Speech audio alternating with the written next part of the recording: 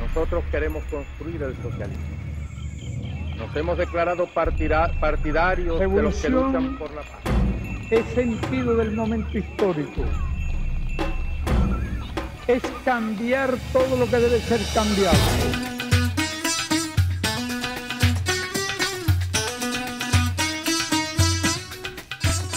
Saludos camaradas, usuarios y usuarias, bienvenidos a una jornada más de este su programa Escuela de Cuadros, programa de debate político ideológico.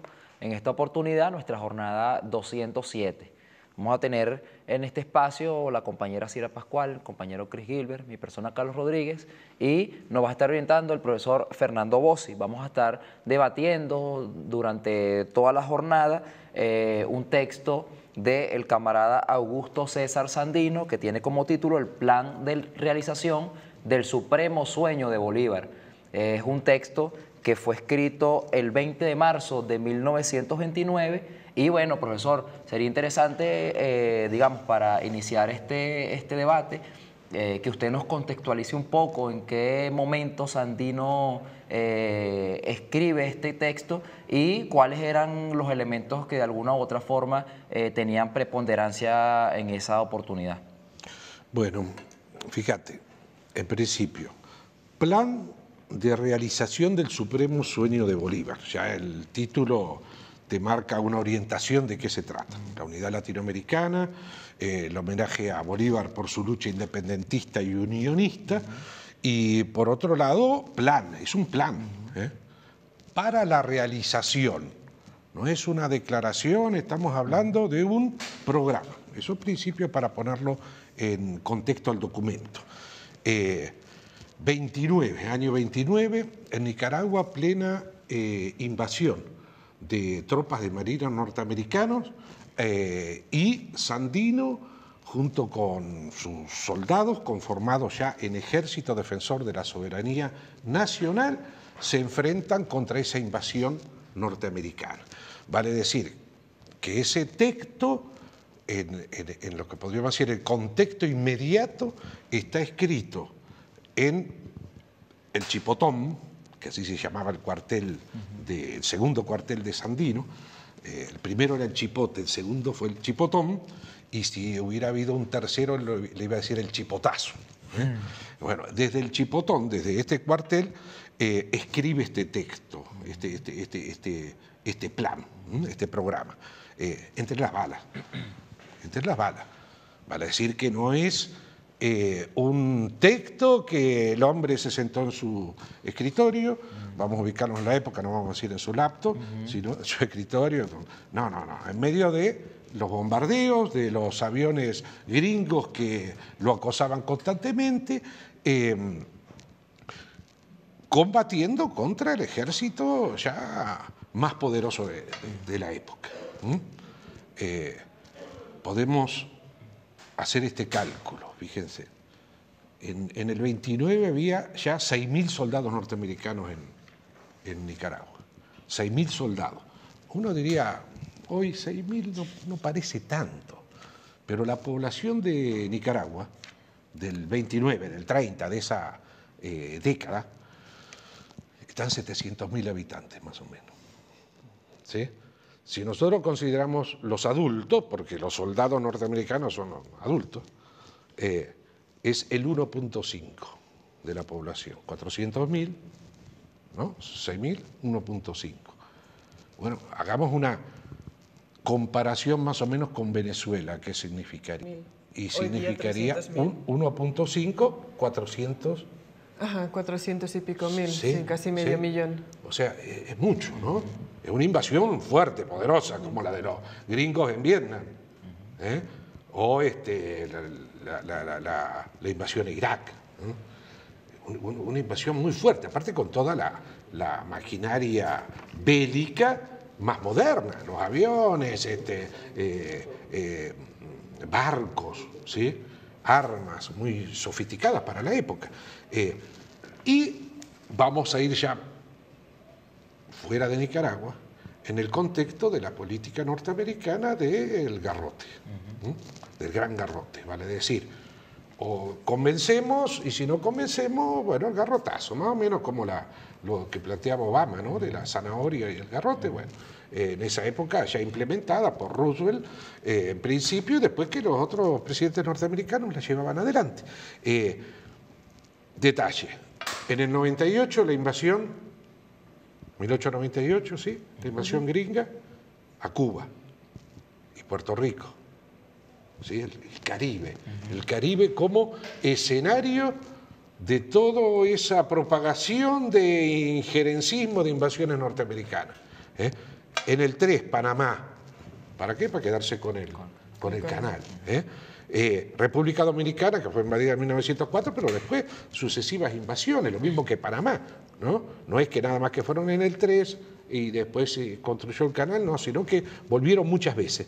En el 12 comenzó la gran invasión en Nicaragua, eh, en el 14 o 15 en Haití, eh, se vuelve a República Dominicana, en el 24 a Honduras y así siguió. ¿vale? Decir, estamos hablando de un contexto que se caracteriza por el intervencionismo yanqui, militar, concreto, con soldados en cada una de las repúblicas eh, centroamericanas y caribeñas.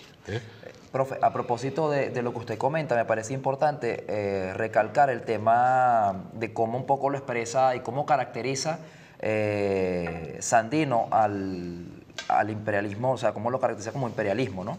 Dice, hondamente convencidos como estamos de que el capitalismo norteamericano ha llegado a la última etapa de desarrollo, transformándose como consecuencia en imperialismo. Un poco también si lo revisamos a la par de ese texto de Lenin, del imperialismo como fase superior del capitalismo, vemos que hay allí como una, como una coincidencia, ¿no? Muy, muy, muy buena eh, la apreciación porque es totalmente así. Eh, la caracterización que hace Sandino en el exordio, ¿no? Eh, plantea, bueno, el capitalismo ya pasó a su etapa imperialista y se está demostrando acá los hechos concretos. de esa Nicaragua que a partir de las luchas intestinas entre conservadores y liberales, que en última instancia eran las oligarquías conservadoras y liberales, eh, peleaban entre sí, por supuesto que los norteamericanos en un momento determinado apoyaban a unos, en un momento determinado a otros. Depende de la conveniencia, pero lo que pasaba en concreto es que se quedaban con el botín. ¿Qué, ¿Cuál era el botín? Bueno, se quedaban con las aduanas, con los ferrocarriles, la implantación de todas las empresas para extraer materia prima, en este caso el banano, los minerales. Eh, pero Nicaragua tenía eh, un, un, elemento que es su ubicación geográfica, ¿sí? que generaba un atractivo especial para Estados Unidos, que se podía construir un canal en Nicaragua a partir del río San Juan, que conecta con el lago Mayor y de ahí se conecta con 22 kilómetros a través de arriba, pasa al Pacífico. Estados Unidos en el 48 fue el descubrimiento del oro en California. Imagínate, ir desde el este al oeste eh, en esa época era bastante complicado. Entonces la otra forma de pasar del este al oeste era a través de el estrecho de Magallanes, más complicado aún. ¿sí? Bueno, quedaba Panamá, pero había que pasar por la selva, la malaria, las enfermedades, un territorio hostil. Eh, y de ahí embarco por el Pacífico hasta California. Entonces, lo del canal era más atractivo. Ahí un empresario, Vanderbilt, eh, arma una empresa donde los barquitos llegaban hasta eh, el río San Juan, bajaban por el río San Juan, ya en el límite con, con, con, Costa Rica, después entraban por el lago, también en barco, y después por diligencia pasaban hasta el Pacífico y de ahí a Caribe. Era barato, aparte, era barato, mucho menos días. Bueno, por todo eso hubo invasiones anteriores, ¿no? Invasiones anteriores, de Walker, por ejemplo. Y todo eso se fue arrastrando hasta llegar a la gran invasión de 1912 a eh, Nicaragua, que se fue continuando y en ese marco, en ese contexto es donde eh, se escribe ya resistiendo Sandino y apartándose del Partido Liberal, ¿eh? apartándose del Partido Liberal, es que escribe este texto. Sí, durante la carrera de Sandino siempre buscaba apoyo de las otras, las otras naciones latinoamericanas y de hecho lo logró, ¿no? Hay, una carta una de Gabriel Mistral en que reconoce el ejército de locos. O, pero el pequeño ejército loco. Celebrando, celebrando Sandino. Pero en cuanto a lo concreto, eso es lo que faltaba, ¿no? Y Sandino está buscando apoyo concreto para defender Nicaragua, para también buscando la unión de las naciones latinoamericanas. Porque eh, Sandino entiende perfectamente que su lucha, su lucha heroica, la del pequeño ejército loco, como lo denominó Gabriela Mistral, eh, iba a la derrota. ¿Por qué? Porque él entendía que un país solo iba a terminar muriendo, ¿eh? sus soldados, sus patriotas, eh, y no iban a poder derrotar a, a, la poderosísima fuerza militar estadounidense. Entonces él es consciente que se necesita de la unidad de los pueblos indoamericanos, como lo llamaba este Sandino, eh, para poder confrontar. Entonces, el antecedente inmediato en documentos es una carta que Sandino hace en el mismo mes de marzo del 29 a los presidentes de cada uno de los países convocando a ese consejo, a una reunión eh, donde se pudiera discutir fundamentalmente el tema del el injerencismo, el problema de las invasiones, del injerencismo yanqui. Eh, inclusive eh, propone al presidente Irigoyen en la Argentina, Hipólito Irigoyen, de hacer esa, reunión en, Argentina. Ya Sandino tenía una profunda visión latinoamericanista. No es que, que únicamente planteaba un lema nada más que de conveniencia, que sería la unidad hace la fuerza, no, no es nada más que eso. Es la comprensión cabal de la necesidad de conformar de nuestro territorio, nuestra América, habla de nuestra América, ¿no? De nuestro territorio como una nación. la entiende como una nación inconclusa. Correcto. Eh, básicamente uno de los elementos, nos quedan tres minutos en este segmento, uno de los, eh, o digamos, eh, una de, uno de los, el lineaje principal en Sandino sería el acervo bolivariano. ¿no? querría que brevemente en, esta, en este cruce entre la construcción de la nación latinoamericana a inicios del siglo XX con el pensamiento de Bolívar como como elemento fundamental que, lleva hacia la construcción de esa nación latinoamericana, ¿cómo, ¿cómo, lo vemos en este texto? ¿Cómo lo vemos en Sandino, el pensamiento de Sandino? fíjate, a mí me parece que es un, un anticipo, un adelanto de lo que estamos viviendo ahora, ¿no? En, en, la lucha por la conformación, en la CELAC, en el ALBA, etcétera, etcétera, que eso después podemos eh, profundizar un poco. Eh, Sandino era netamente bolivariano, él decía, yo soy un hijo de Bolívar, plantean algunos textos, ¿no? Eh, bueno, el nombre nada más que de, del programa. ¿eh? Había leído a Martí, había leído a Bolívar, bueno, por supuesto, todo lo que era una tendencia en la época del latinoamericanismo, eh, centrado por ahí en, el Ariel de Rodó, ¿no? Era un gran estudioso del tema latinoamericano y comprendía cabalmente que nuestras repúblicas necesitaban unirse y conformar una nación. De ahí que él habla de la nacionalidad latinoamericana y una ciudadanía común que nuestra división, nuestro fraccionamiento, él habla de las fracciones ¿no? latinoamericanas, del, fraccionamiento era producto del imperialismo. Del imperialismo, primero el, español, después el colonialismo, el colonialismo, imperialismo ya inglés y después el de lo norteamericano, que como nuevo venía bien agresivo, eh, pero entendía que la nación es América Latina y cada uno de nuestros países es una fracción de esa gran nación latinoamericana.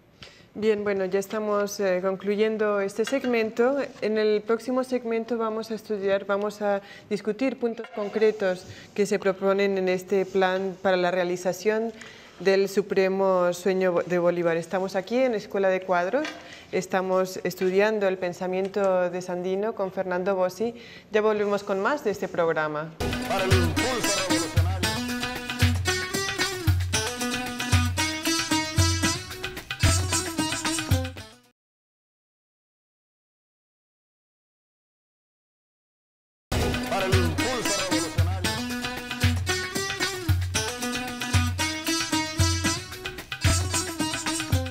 Estamos de vuelta con la Escuela de Cuadros estudiando el supremo, supremo sueño de Bolívar con Fernando Bossi.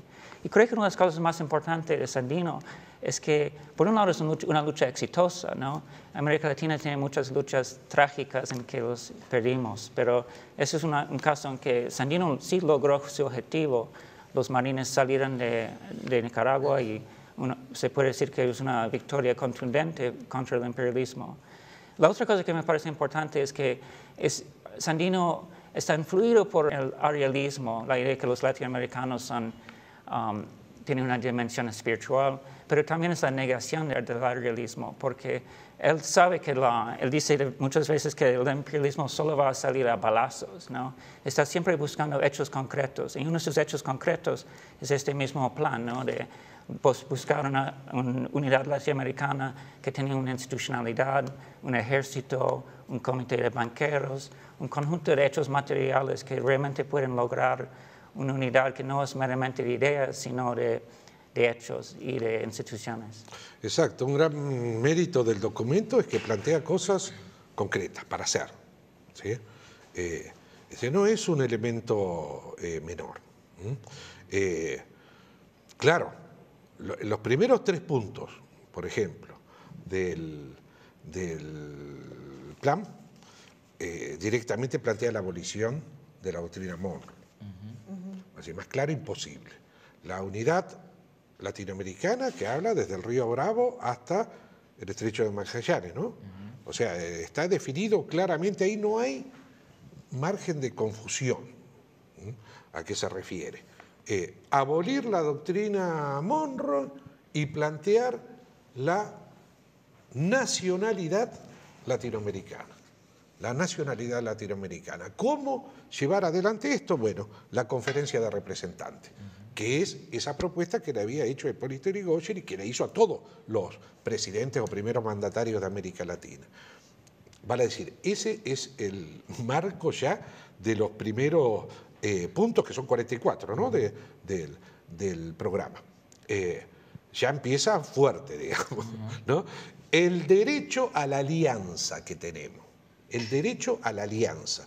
El, texto lo que está marcando son propuestas para ir concretando una alianza, inspirado sin ningún tipo de duda en el Congreso Anfictiónico del 26 de Bolívar y todos los documentos previos a ese documento. Eh, entonces, fíjate vos, está planteando ya separarnos del imperialismo este, y construir nuestro propio proyecto de unidad y ciudadanía latinoamericana. Para esto, la conferencia de representantes, sin injerencias, plantea, sin injerencia. O sea, no la OEA, ¿no? Sin injerencia.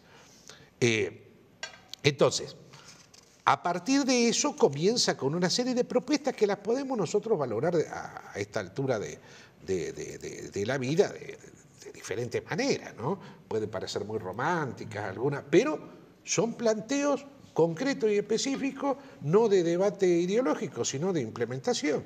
Por ejemplo, la Corte de Justicia. La Corte de Justicia es una medida, una propuesta concreta que tenemos que hacernos nosotros hoy. Hoy a casi 100 años ¿sí? de la aparición del documento. Una Corte de Justicia latinoamericana que pueda resolver los problemas de límite, los distintos problemas que puedan surgir dentro de nuestro territorio y entre nuestros países. Eh, un ejército, un ejército latinoamericano, por ejemplo, ¿es una propuesta válida hoy o no? Yo creo que sí, más que necesaria, con la ofensiva eh, actual del imperialismo eh, norteamericano, con Trump encima mandando este perverso imperialismo, eh, necesitamos un ejército común, que ya se había comenzado a avanzar con la Comisión de Defensa de UNASUR, inclusive se iba a fabricar un avión, bueno, desgraciadamente los cambios que hubo impidieron eso, pero era un proyecto novedoso, un ejército compuesto aparte por estudiantes, por estudiantes 250 estudiantes de cada país, elegidos este, por concurso, por sus, eh, por sus méritos físicos, soldados, ¿eh? y, e intelectuales. estudiantes de Derecho y de Ciencias Sociales, con sus profesores, que los iban a elegir los alumnos. O sea, lo planteaba las cosas todas con una metodología eh, fenomenal, ¿no? Ahora, lo más importante del documento es su visión eh, antiimperialista. ¿Qué quiero decir? Medidas de corte antiimperialista puntuales. Por ejemplo, decía, en caso de agresión militar norteamericana, bueno, lo primero que había que hacer era eh, retirar los embajadores. Retirar los embajadores, bueno, eso lo, lo, lo, que se estila hacer, ¿eh? no había mucha novedad ahí. Pero si no se resolvía por esa vía, era la expropiación, la confiscación de todos los bienes del país agresor. Pero no de, del país agredido por el imperialismo, sino que esa medida la tenían que cumplir todos los países de la nacionalidad latinoamericana. ¿sí? Entonces, eran medidas muy profundas. Por cierto, que tiene que ver con, con la doctrina Monroe porque, Monroe, porque precisamente en el 12, cuando la invasión a Panamá, se, se implanta el corelario del Roosevelt, ¿no? donde precisamente se plantea que cualquier eh, que bajo cualquier condición en la cual los intereses de un ciudadano o de una corporación gringa se toquen en América Latina, en, en este continente, en el patio trasero, del imperialismo que eso, es, eh, eso justifica una invasión. Entonces hay una, una clara respuesta eh, antiimperialista a ese momento. Sí, porque ¿qué dice? Porque lo profundiza esto Sandino en el propio plan. ¿Qué dice? No a las inversiones, a las inversiones norteamericanas. Y lo aclara, porque siempre utilizan la excusa de la defensa de sus ciudadanos y de sus bienes para invadir. Entonces, ¿Cómo solucionan ese problema? Bueno, que no haya inversiones norteamericanas. Así, medidas netamente nacionalistas en el concepto de lo nacional latinoamericano caribeño y por otro lado antiimperialistas. No a las inversiones, no a las inversiones estadounidenses, retiro de las bases militares. O sea, plantea el retiro de todas las bases militares norteamericanas en la región. Eh, medida que nosotros tenemos que seguir reclamándola, ¿no? Eh, y em, plantea el comité esto de banqueros, ¿no? Que es un tema bien interesante, eh, porque bueno, lo dice de esta forma, no, no hay mayor aclaración.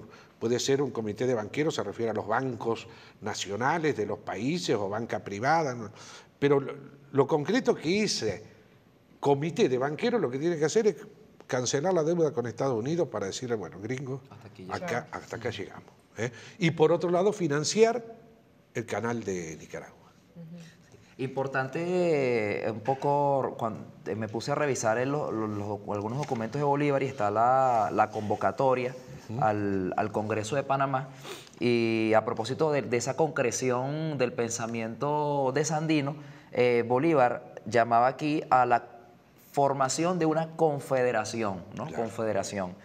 Y este, Sandino hace la salvedad en la conclusión del proyecto y él plantea que este es un proyecto de una alianza, digamos, no de dejar el espacio abierto para conformar una confederación, pero lo ve como un proyecto a futuro, un proyecto de mucho más largo plazo. Y entonces me parece importante cómo también Sandino dimensiona el alcance de, la acción que está tomando, de la acción que está proponiendo. Correctísimo, porque vos fíjate que él plantea como tres niveles, acercamiento, alianza o la confederación. Eh, la confederación lo ve como una etapa posterior a ir avanzando primero eh, con estas propuestas que hacemos, son propuestas. ¿eh? y yo creo que sí, en el marco en que se da el documento es en el marco de la alianza, ir generando una alianza entre nuestros países y nuestros, nuestros pueblos. ¿no? Pero lo interesante es que inclusive en el, plan eh, avanza en otros temas. Eh, eh, ahí, hay que hurgar un poquito las influencias. Pues, por ejemplo, sin duda que el tema del de, el ejército de la nacionalidad latinoamericana de estudiantes y profesores tiene una influencia muy fuerte de la reforma universitaria del 18 y su alcance latinoamericano. ¿Eh? Y por otro lado también tiene influencia todas las eh, reformas que se iban generando la México revolucionaria eh, a través de Vasconcelos, ¿no? de José Vasconcelos. entonces, ahí hay, ahí hay una, una, influencia profunda, por eso que plantea el tema de los estudiantes en la, México de aquellos años se venía de combatir en la guerra de los cristeros, ¿no? Los estudiantes habían participado mucho. Eh, entonces, yo creo que ahí hay eh, eh, influencias importantes y Sandino toma lo mejor de ese movimiento latinoamericanista revolucionario y lo va este, agrupando, ¿no? Porque habla también de las becas. Eh, en el plan habla de las becas, de que tenemos que implementar todo un sistema de becas para intercambio de estudiantes. ¿sí? Al tema de los estudiantes le da mucha importancia. Eh, y, yo diría, bueno, ¿y, qué, pasó con nuestra Unialba? Nuestra Unialba no, no, pasó nada, no existe. Vale decir, todavía el documento del año 29 de, de Sandino nos está orientando, nos está orientando, y está orientando las urgencias.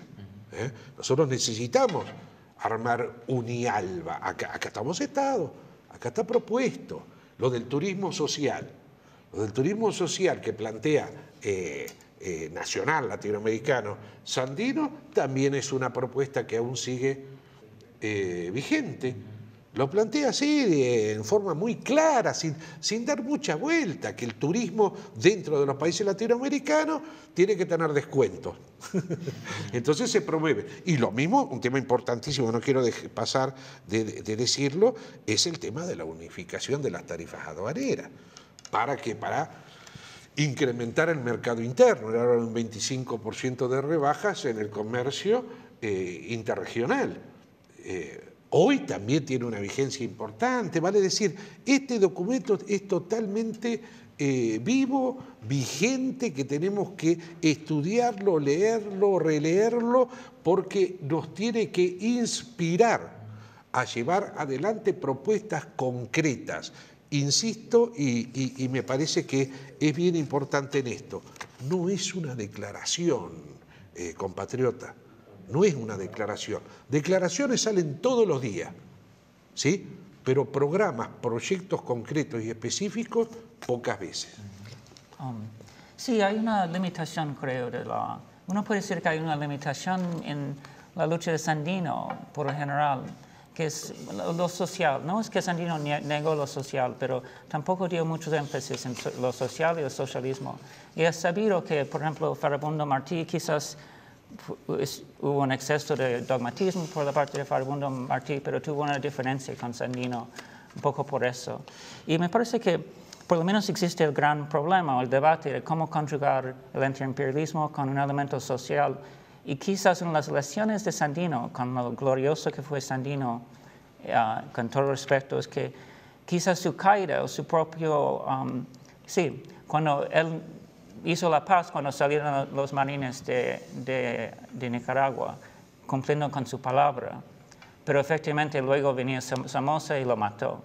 Entonces quizás uno de los fallos del proyecto Sandino fue que había descuidado el elemento social, por no decir el elemento socialista. Yo no comparto ese punto de vista, eh, porque sí le dio mucho énfasis eh, Sandino a, lo social.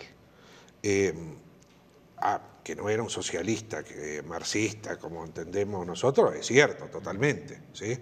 Eh, pero el primero que se enorgullece de pertenecer, como él decía, a la raza de los oprimidos. En otro texto habla de, yo eh, planteo con orgullo pertenecer a la clase proletaria. pero no lo decía desde un punto de vista romántico, que lo era o sea, Sandino fue un proletario.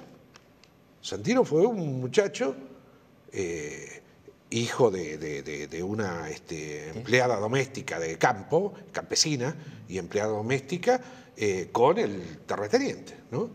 Eh, él comía en la cocina de la casa del señor que era el papá. Su hermano Sócrates comía en el comedor con sus hermanos y con la gente bien. ¿Sí? Y él comía en la cocina. Y él, de jovencito, chiquitito, se fue a trabajar. Primero a los campos con la mamá y después se fue a Honduras y trabajó en las bananeras, ¿sí? Eh, y trabajó en las minas, y trabajó en la industria del petróleo en México, y trabajó de barrendero. Pues y sí, en trabajó México donde tuvo relación con algunos, con algunos grupos eh, socialistas y socialistas anarquistas. y anarquistas. ¿eh?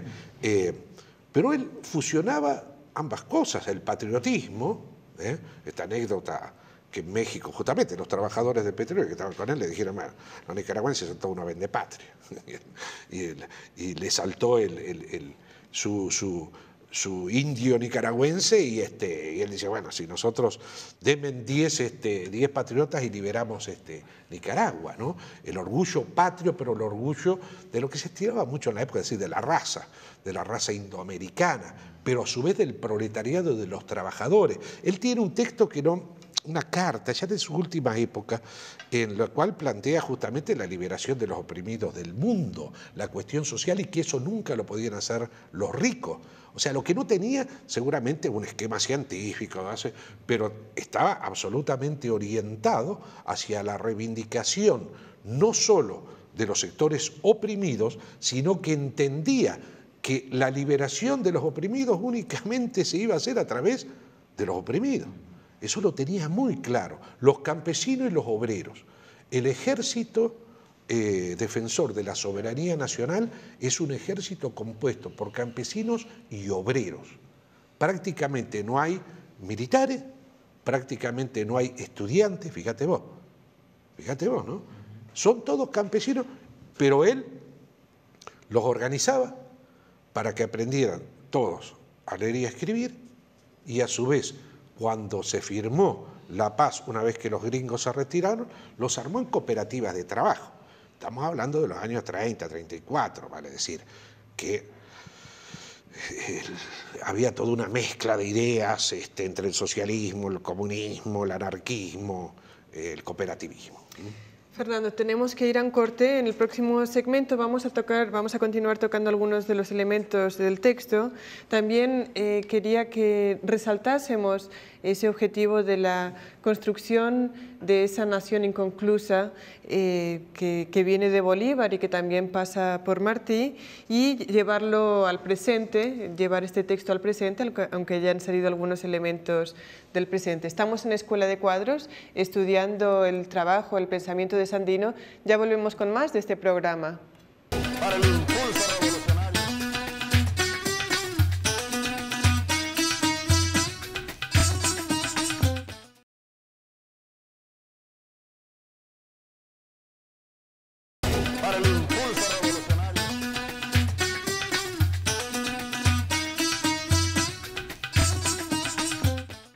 Estamos de vuelta en este tercer segmento de Escuela de Cuadros, donde estamos discutiendo eh, un texto del camarada Augusto César Sandino que tiene como nombre el Plan de la Realización del Supremo Sueño de Bolívar.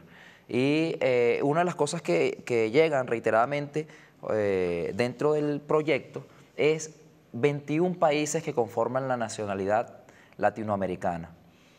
¿A qué se refiere? O sea, ¿cuáles son esos 21 países y por qué quedan algunos eh, fuera o no están allí expresados dentro de esa nacionalidad No, es que él latinoamericana? no, que no, él no hace un listado específico de los países. Este, Tener en cuenta que después los países del Caribe, muchas islas del Caribe fueron independizándose posterior a esta, esta fecha. ¿sí?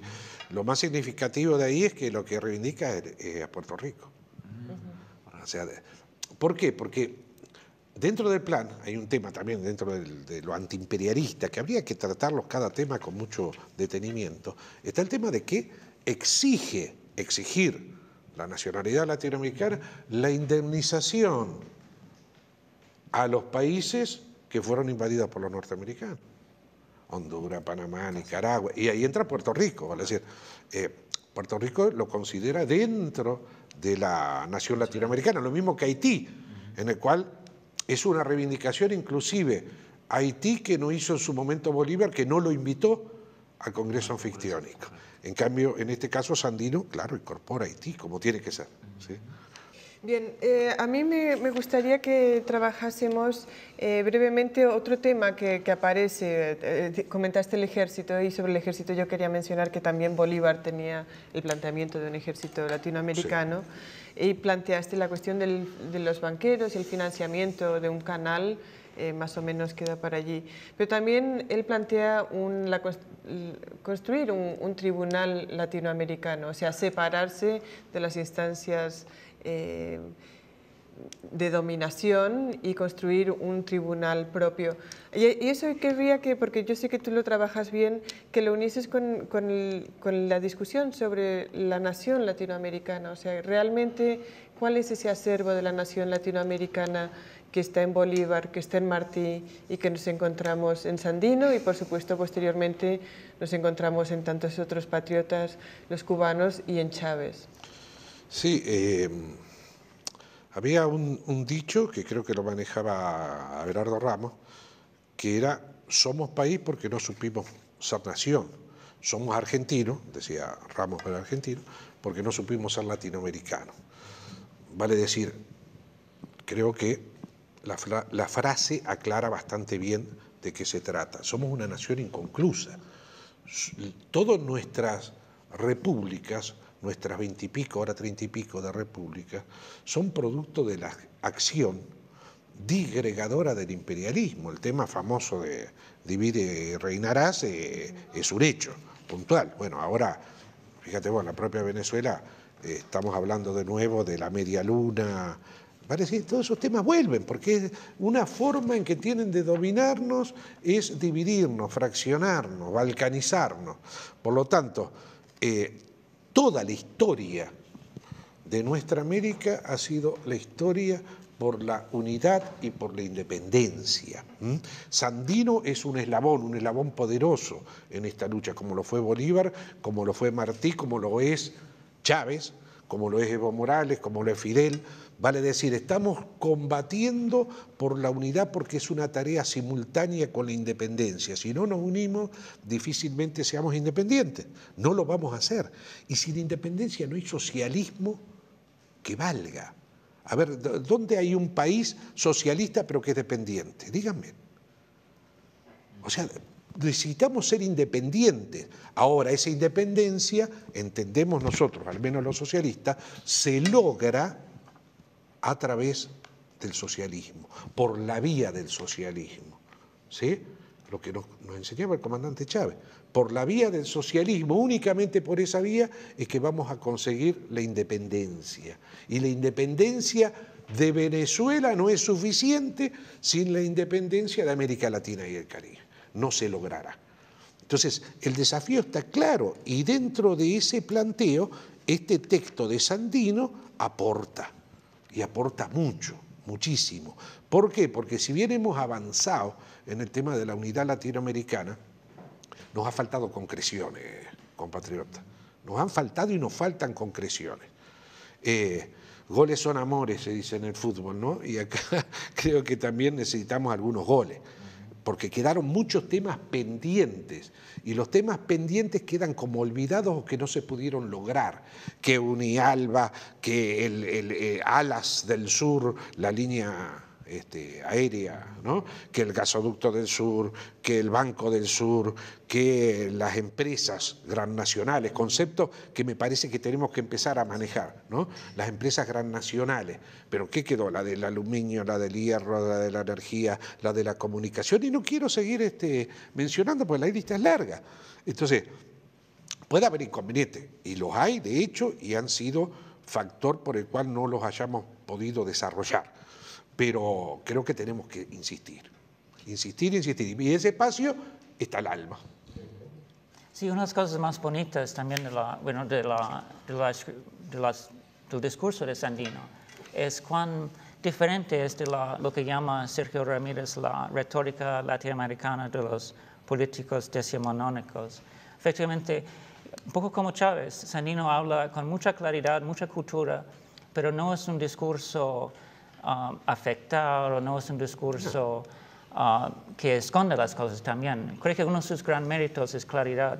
Y, por ejemplo, parte de su léxico habla de los yanquis, los llaman piratas, bestias rubias, ¿no? Sí, Me parece que la, hay una suerte de um, uh, reivindicación uh, de una clase oprimida, ¿no? Pero también una, una búsqueda de claridad en, los, en, la- en el discurso. Evidentemente eh, fue, es para nosotros un, un gran héroe, ¿no? Y, y le llamaban un gen- el general de los hombres libres. También quería que mencionases eh, brevemente, aunque lo dijimos anteriormente, sobre el fin eh, de su vida, aunque no de su legado, por supuesto, para luego retomar y aterrizar de nuevo en, este, en el momento actual. Bueno, lamentablemente sabemos que Sandino fue traicionado, ¿no? Traicionado por las oligarquías, este, tanto liberales como conservadoras. En este caso le tocó a los, liberales. Eh, Sacasa, el presidente, y Somoza, quien después este, se va a adueñar, y lo digo con toda... literalmente, adueñar de Nicaragua, bueno, fue quienes armaron la conspiración junto con la embajada norteamericana, sin ningún tipo de duda, y lo asesinan junto a, a un Mansouri Estrada, dos lugartenientes, dos comandantes. Eh, y después arrebatan todos los avances que había hecho Sandino con las cooperativas que había armado, fundamentalmente en Nueva Segovia, este, pero en otros eh, departamentos de Nicaragua. Y eh, eh, matan a casi todos los, este, comandantes de, de su ejército, Irías, Colindre, bueno, y después fue asesinado Pedro Altamirano, Pedrón, un gran comandante campesino, analfabeto y que aprendió a leer en el, en el cuartel, ¿no? Eh, que fue el- probablemente el, el comandante, no sé si el más importante, pero seguramente uno de ellos del ejército sandinista. Eh, y ahí terminó aparentemente la gesta de Sandino, pero pero no fue así, lo sabemos. Eh, el espíritu de Sandino, y no solo el espíritu, sino su doctrina, ¿eh? la doctrina de Sandino y la obra misma de los propios soldados de Sandino le dieron continuidad. El propio eh, Santos López, por ejemplo, que era del coro de ángeles, que eran los niños que iban a la batalla a hacer ruido para asustar a los, a los gringos, eh, bueno, él perteneció, de alguna forma fue el eslabón el eslabón entre el sandinismo de hoy y el sandinismo del general de hombres libres. Y el sandinismo sigue vivo. Eh, bueno, ahora ganó las municipales, ¿no? Eh, categóricamente, y sigue defendiendo su canal, y sigue defendiendo su patria, y sigue avanzando porque ese sandinismo nacionalista, latinoamericanista, eh, profundo, hoy se le agregan también las banderas socialistas, las banderas de- del cristianismo. ¿Qué quiero decir? Ese sandinismo sigue dando luz América Latina, sigue siendo un, faro donde podemos este, eh, vernos. ¿no? Eh, me parece que este documento es un documento que tenemos que llevarlo a las escuelas, a toda América Latina, tenemos que, eh, tenemos que debatirlo. ¿Por qué? Por la esencia. ¿La esencia que Propongamos, compatriotas, cosas concretas para unirnos los latinoamericanos caribeños. El, eh, entonces vemos que hay una continuidad del proyecto de Sandino en, en nuestra América. Evidentemente los sandinistas todavía hoy gobiernan y, y tuvieron una larga lucha armada entre los años 70, años 80. Hoy en América Latina eh, también hemos pasado por el proceso bolivariano, por Chávez, y se fueron construyendo espacios de, de integración como, como ALBA y UNASUR. Ahora, ¿cuál sería el llamado ya concluyendo, eh, reconociendo la importancia del, del acervo bolivariano y del acervo de Sandino? ¿Cuál sería la import- importancia para nosotros y nosotras de leer estos textos y cuáles son nuestras tareas pendientes todavía hoy? Bueno, entender que tenemos que unirnos. Eh, los espacios que hemos logrado en esta ofensiva, esta nueva ofensiva eh, unionista e independentista, encabezada por Chávez, Fidel, bueno, lo que conocemos, ¿no? Eh, en esta nueva ofensiva se consiguió avanzar mucho. ¿sí? De hecho, el ALBA, UNASUR, la CELAC, eh, Petrocaribe, pero necesitamos avanzar más. Necesitamos necesariamente avanzar más. Creo que nuestro espacio, nuestro espacio donde tenemos que apoyarnos para tener impulso real es el ALBA, porque el ALBA es el proyecto nuestro.